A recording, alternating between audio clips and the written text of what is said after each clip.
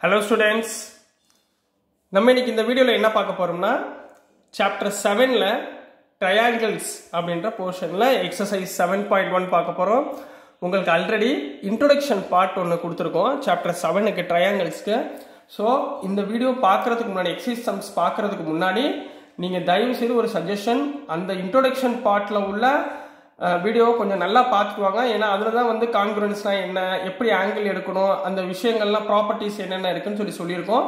So ஒரு அஞ்சு நிமிஷம் அந்த வீடியோவை மட்டும் பார்த்துட்டு வந்து அதுக்கப்புறம் எக்ஸசைஸ் ப்ராப்ளம்ஸ் பாருங்கள் உங்களுக்கு மேக்ஸிமம் நான் சொல்கிறது வந்து இன்னும் கொஞ்சம் ஈஸியாக புரியும். சரிங்களா?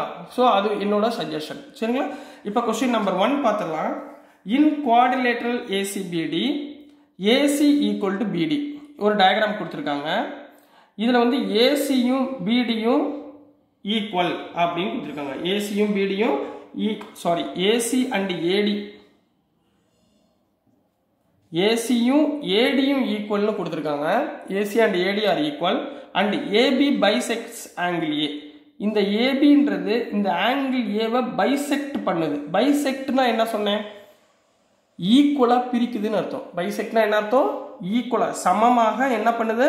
பிரிக்குது. அப்போ இங்கே வந்து இப்போ தேர்ட்டி டிகிரி இருக்குன்னு வச்சுக்கோங்க. மேலேயும் என்ன இருக்கும்? தேர்ட்டி டிகிரி இப்போ கீழே சிக்ஸ்டி டிகிரினா மேலேயும் சிக்ஸ்டி டிகிரி இருக்குன்னு அர்த்தம். கீழே நைன்டி டிகிரினா மேலேயும் நைன்டி டிகிரி இருக்குன்னு அர்த்தம். அதுக்கு பேர் தான் என்னது? ஈக்குவலி பைசெக்ட்ஸ் பைசெக்ட்ஸ்னா என்ன அர்த்தம்? ஈக்குவலாக பிரிக்கிறதுன்னு அர்த்தம். ஆங்கிள் ஏவா இப்போ பிரிச்சிருச்சு. ஏபின்ற line triangle ABC show that என்ன சொல்லியிருக்காங்க ஏபிசி இந்த ட்ரையாங்கிளும் ஏபிடி கீழே உள்ள ட்ரையாங்கிள் இது மூணுமே இது ரெண்டும். என்ன சொல்லுவாங்க? கான்குருவெண்ட் கான்குருவெண்ட்டோட என்ன கான்குருவெண்ட்னா என்ன சொன்னேன் காங்குருவென்ட்னா ஏதாவது ஒரு சைடு காமனாக இருக்கும். சரிங்களா? காங்குருவென்ட்னா ஏதாவது ஒரு சைடு காமனாக இருக்கும்.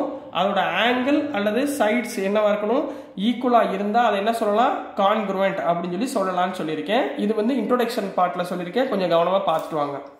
ரெண்டாவது கொஸ்டின் என்ன சொல்லியிருக்காங்கன்னா what can you say about BC and BD இந்த பிடியும் இந்த பிசியும் இதோடைய இதை பார்த்துட்டு நீங்கள் என்ன சொல்வீங்க அப்படின்ற கொஸ்டின் கேட்டிருக்காங்க. சரிங்களா? இப்போ முதல் எடுத்தவொடனே இந்த இது ட்ரையாங்கிள்ஸ் குவாடினேட்டர் லைன் அண்ட் ஆங்கிள்ஸ் இந்த மாதிரி சர்க்கிள்ஸ் இந்த மாதிரி இதுக்கு முதல் எப்பயுமே என்னோட ஸ்மால் சஜஷன் என்னென்னா நான் சொல்கிற மாதிரி எழுதுங்க அப்போ தான் மார்க்ஸ் வரும். சரிங்களா?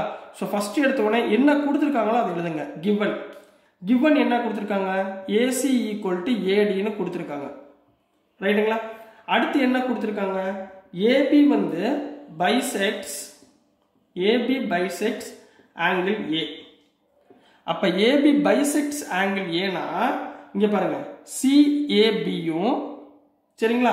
பிஏடியும் இதோட ரெண்டோட ஆங்கிளும் என்னவாக இருக்கும்? ஈக்குவலாக இருக்கும். சரிங்களா? இதை வச்சுட்டு நம்ம எழுதுவோம். Angle CAB is equal to angle BAD நான் என்ன சொன்னேன்? கீழே முப்பது டிகிரி இருந்தால் மேலேயும் முப்பது டிகிரி கீழே நாற்பது டிகிரி இருந்தால் மேலேயும் நாற்பது டிகிரி சரிங்களா? ஸோ அந்த மாதிரி இது ஒரு ஈக்குவேஷன் கிடைக்குது. இதை கிவன் இப்போ என்ன ப்ரூவ் பண்ண சொல்லியிருக்காங்க? டு ப்ரூவ் தட் அடுத்து second step first given next to prove நல்லா ஞாபகத்தில் வச்சுக்கோங்க. டு ப்ரூவ் என்ன ப்ரூவ் பண்ண போகிறோம் triangle ABC is congruent to triangle ஏபிடின்னு அவங்க ப்ரூவ் பண்ண சொல்லியிருக்காங்க. சரிங்களா? அப்போ எனக்கு ரெண்டு ட்ரையாங்கிள் கிடைக்குதா? இப்போ மொதல் இந்த ரெண்டு ட்ரையாங்கிள் எடுக்க போகிறோம் மூணாவது ப்ரூஃப் ஃபஸ்ட்டு கிவன் அடுத்து டூ ப்ரூஃப் மூணாவது ப்ரூஃப் இப்போ ப்ரூஃபில் ரெண்டு ட்ரையாங்கிள் அவங்களே கொடுத்துருக்காங்க. இந்த ரெண்டு ட்ரையாங்கிள் நான் எடுத்துக்க போகிறேன் in triangle ABC and in triangle ABD இந்த ரெண்டு ட்ரையாங்கிள் நம்ம பார்க்க போகிறோம் இந்த ரெண்டு ட்ரையாங்கிளில் என்ன கொடுத்துருக்காங்க? கிவன் என்ன கொடுத்துருக்காங்க? ஏசியும் ஏடியும் ஈக்குவல்னு கொடுத்துருக்காங்க. அண்ட் ஆங்கிள் ஆஃப் சிஏபியும் ஆங்கிள் ஆஃப் பிஏடியும் ஈக்குவல்னு கொடுத்துருக்காங்க. இது ரெண்டும் அவங்க கிவன்லேயே கொடுத்துட்டாங்க.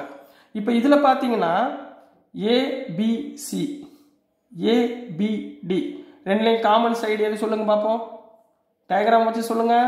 கண்டுபிடிச்சிட்டிங்களா? எது ரெண்டு ஈக்குவல் ஏபின்ற சைடு ரெண்டு ஆங்கிள்லையுமே ஈக்குவலாக இருக்கு. இங்கேயும் ஏபி வருது கீழேயும் ஏபி வருது. அப்போ ஏபி ஏபி வந்து என்ன அர்த்தம்? காமன் சைடு இப்போ நல்லா பாருங்க. ஒரு காமன் சைடு வந்துருச்சு. ரெண்டு ஆங்கிளுமே என்னவா இருக்கு? ஈக்குவலாக இருக்கு.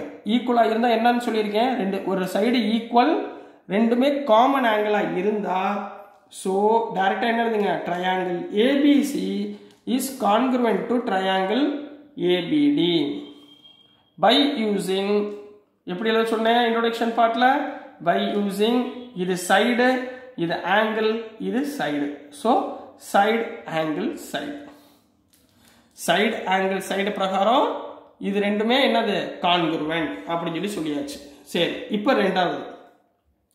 செகண்ட்ல என்ன கொடுத்துருக்காங்க பாருங்க. செகண்ட்ல what can you say about BC and BD சரிங்களா? இந்த பிசியும் பிடியும் என்னவா இருக்கும்? இப்போ பாருங்களேன். ஆங்கிள் ரெண்டுமே ஈக்குவலா சைடு ரெண்டுமே ஈக்குவலா அப்போ இந்த சைடுமே ரெண்டுமே என்னவா இருக்கும்? ஈக்குவலாக இருக்கும். ரைட்டுங்களா ஆங்கிளும் ஈக்குவல் ஒரு சைடு ஈக்குவல்னா அனதர் சைடும் என்னவா இருக்க போகுது? ஈக்குவலாக இருக்க போகுது. ஸோ நீங்கள் எப்படி எழுத போறீங்க? ஹியர் பிசி ஈக்குவல் டு பிடி எதை வச்சு சொல்றீங்க? Congruence part of congruence triangle congruence part of congruence triangle என்ன அர்த்தம்?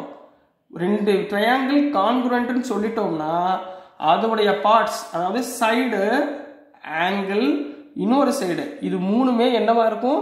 ஈக்குவலாக இருக்கும். அதுக்கு தான் நம்ம என்ன சொல்லியிருக்கோம்? By using congruence part of congruence triangle பிசியும் பிடியும் சேம் அப்படின்னு சொல்லி சொல்கிறோம் சரிங்களா? ரொம்ப ஈஸியாக இருந்துச்சா? ஸோ கண்ணுங்களா நீங்கள் படிக்கும்போது மனப்பாடம் பண்ணாதீங்க. தயவு செய்து மக்கப் பண்ணிடாதீங்க. டவுட் இருந்தால் ரெண்டு மூணு வாட்டி படிச்சிங்கன்னா உங்களுக்கு ஆட்டோமேட்டிக்காக அதெல்லாம் புரிஞ்சிடும் இதில் ஃபார்முலா கிடையாது. டயக்ராம் வச்சு நம்ம எக்ஸ்பிளைன் பண்ணி போட போகிறோம் சரிங்களா? இது மட்டும் கொஞ்சம் ஞாபகப்படுத்தி பண்ணிங்கன்னா ஈஸியாக நம்ம ஸ்கோர் பண்ணிடலாம். சரிங்களா? ஸோ உங்களுக்கு இந்த வீடியோஸ்லாம் பிடிச்சிருந்துச்சுன்னா லைக் பண்ணுங்கள் ஷேர் பண்ணுங்கள் மறந்துடாமல் சப்ஸ்கிரைப் பண்ணிட்டு பாருங்கள் சப்போர்ட் பண்ணுங்கள் ஸ்டூடெண்ட்ஸ் தேங்க்யூ